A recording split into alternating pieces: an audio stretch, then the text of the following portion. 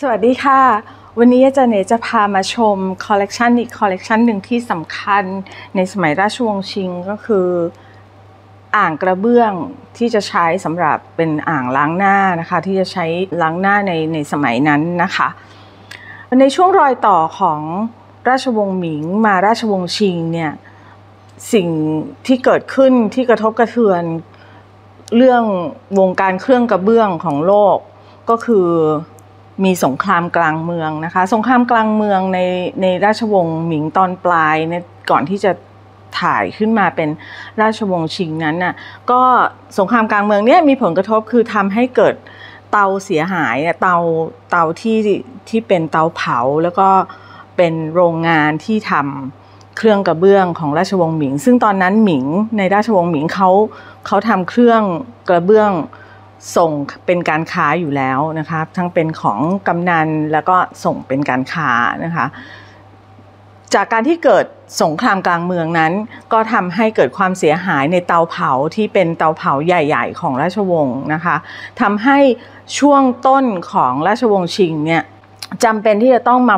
ฟื้นฟูงานเครื่องกระเบื้องทั้งหมดใหม่ ซ่อมแซมโรงงานเพื่อให้ใช้งานได้ เพราะฉะนั้นเพราะนั้นช่วงแรก ประมาณศตวรรษที่ 17 ต้นๆนะคะ ของราชวงศ์ชิงก็เท่ากับศตวรรษที่ 17 จะมีการซ่อมแซมแล้วก็ราชวงศ์ชิงก็จะทำเรื่องเครื่องกระเบื้องเนี่ย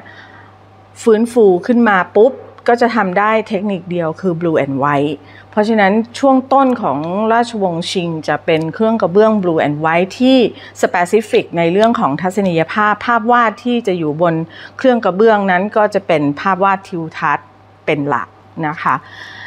จากนั้นใช้เวลาอีกเป็นร้อยปีนะคะที่จะฟื้นฟูโดยนำเทคนิคเดิม ในราชวงศ์หมิงกลับเข้ามาใช้งานเพื่อที่จะพัฒนา งานเครื่องกระเบื้องงานเครื่องเคลือบเพิ่มไปอีก สิ่งที่ราชวงศ์ชิงได้พัฒนาโดยต่อยอดมาจากเทคนิคของราชวงศ์หมิง ก็คือในเรื่องของการเคลือบสี ซึ่งทำให้ราชวงศ์ชิงได้เคลือบสีได้มากขึ้นมากกว่าราชวงศ์หมิงแต่เดิมนะคะ แล้วก็มีการเคลือบเรียกว่า เรียกการเคลือบชนิดหนึ่งเป็นพิเศษขึ้นมาก็คือเครื่องเคลือบที่ดูแล้วมีความแวววาว คือมีโมโนโครมใช้ใช้แร่บางชนิดที่เกิดความวาว เคลือบเครื่องเคลือบนั้นอีกทีก็จะทำให้เกิดสิ่งที่เราเรียกว่าลายน้ำทอง คือพอเคลือบทองไปแล้วทองเป็นทองแวววาวนะคะที่ศูนย์มหาสมบัติ3แผ่นดินเนี้ยก็จะมีคอลเลกชันหนึ่งซึ่งได้เก็บเอาไว้นะคะเป็น เรื่องของอ่างล้างหน้า เป็นชุดอ่างล้างหน้าซีรีส์ใหญ่เลยที่เป็นของสมบัติของราชวงศ์ชิงนะคะ ซึ่งอายุของ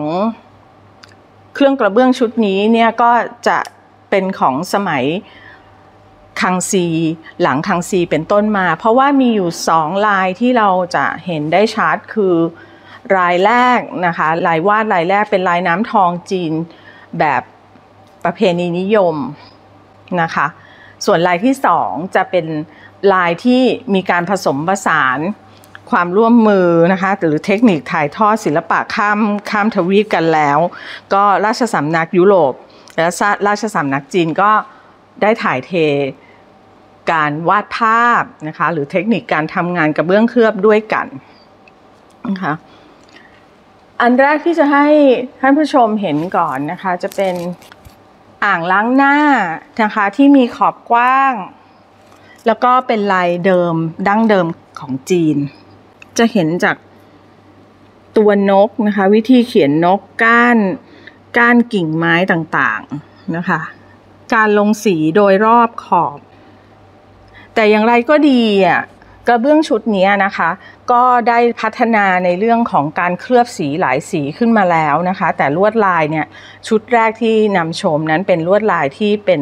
ลายดั้งเดิมของจีน เขียนในแบบจีน ส่วนใหญ่อ่างล้างหน้าจะมาเป็นคู่นะคะ จะใช้งานเป็นคู่กัน แล้วก็จะมีฐานตั้งต่างหาก แต่ที่นี้เราจะแสดงให้เห็นอยู่บนฐานตั้ง ซึ่งข้างล่างเราจะให้ท่านได้เห็นด้วยว่าด้านล่างเป็นยังไงนะคะ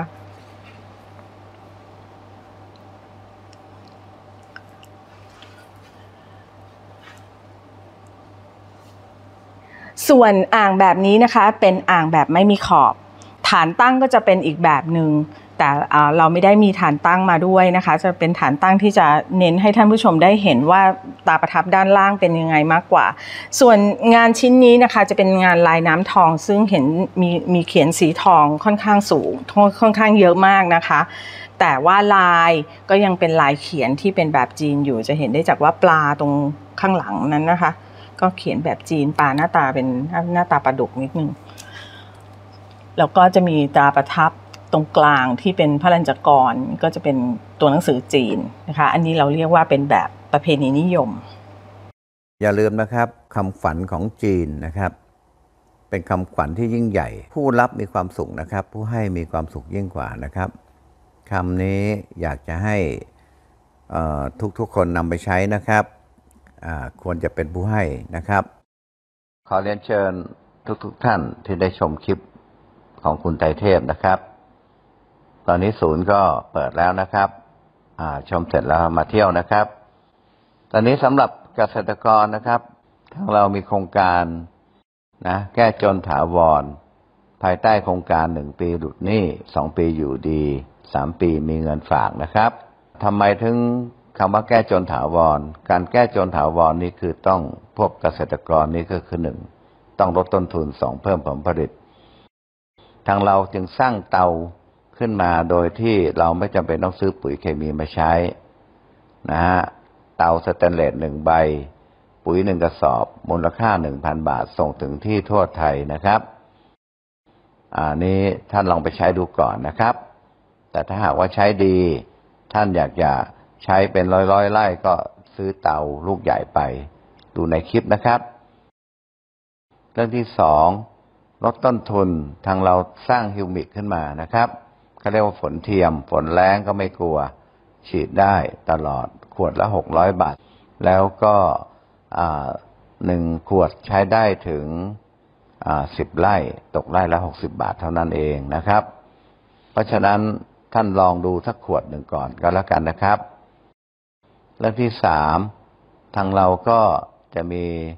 ปุ๋ยที่เขาเรียกว่าหมอดินหมอ หมอพืชสารพัดหมอนะฮะ